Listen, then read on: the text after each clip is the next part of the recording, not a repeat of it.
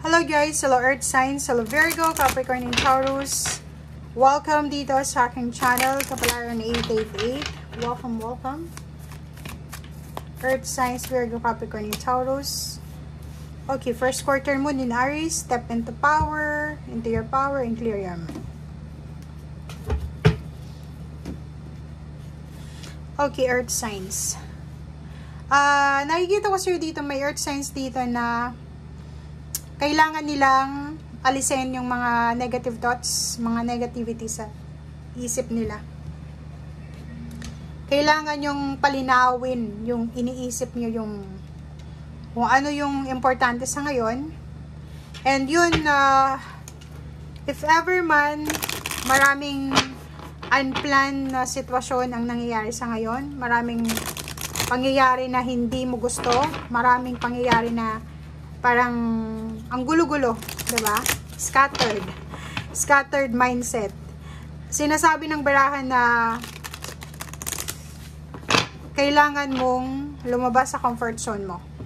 Kailangan mong lumabas diyan sa sitwasyon na 'yan para makalaya ka sa kung ano man ito na iniisip mong stagnation. Okay? So, kung makikita natin dito, sa araw na ito, sinasabi ng barahan na earth signs, siguro isa sa mga pinoproblema mo sa ngayon is pera. Pinoproblema mo kung paano mo ibabudget yung sweldo mo or kung paano mo makukuha yung ganitong amount ng ipon sa isang taon. Parang ganon. Ayun na nga, kung makikita mo dito, pwedeng sa araw na ito, nagpaplano ka tungkol sa abundance mo, sa mga living expenses, business, uh, work, self-development, mga savings, travel, or kung ano man to health, diet, or kung ano pa man. Uh, sinasabi ng baraha sa'yo dito na kailangan mong magkaroon ng direkta. Direktang desire, 'di ba?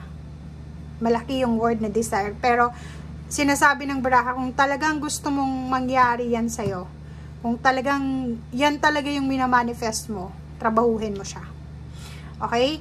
Pero, ang wina-warning lang sa'yo ng baraha dito, make sure, kasi yung clear your mind, dapat hindi mo pinagsasabay-sabay. Dapat, klaro ka, alam mo kung ano yung pinapasok mo.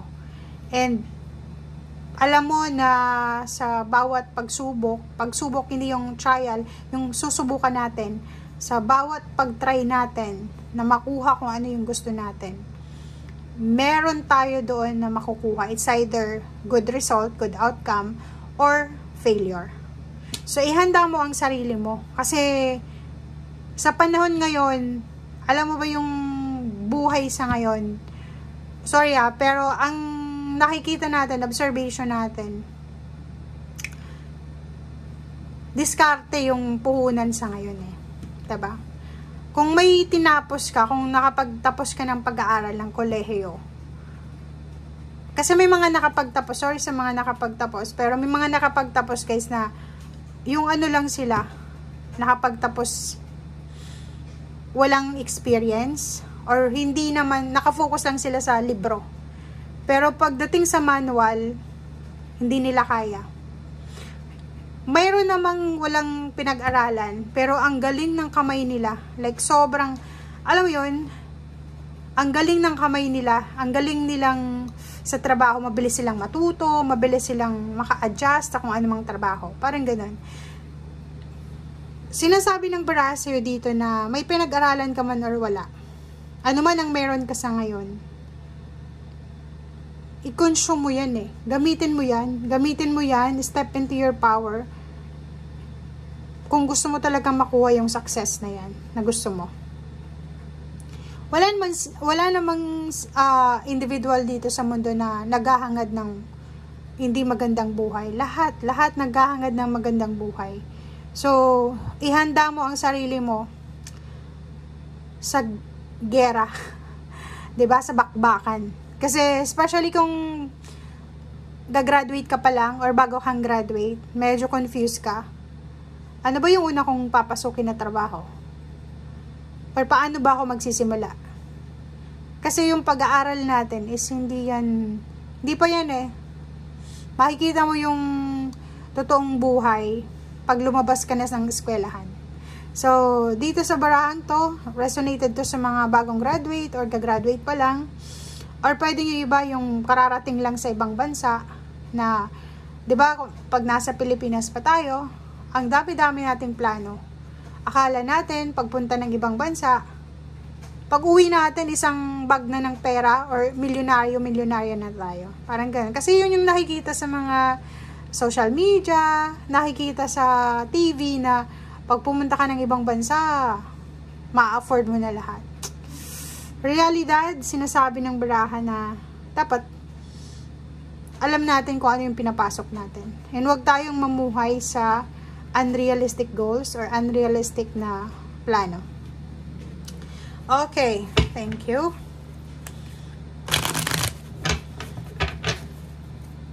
And wag din puro-puro plano lang, 'di ba? Plano, plano, plano. Wala namang actions. Pagsabayin mo yung discarding mo, yung action mo, tsaka yung pinag-aralan mo. Nako, bonggang-bongga yan. Hmm, tower. Ooh.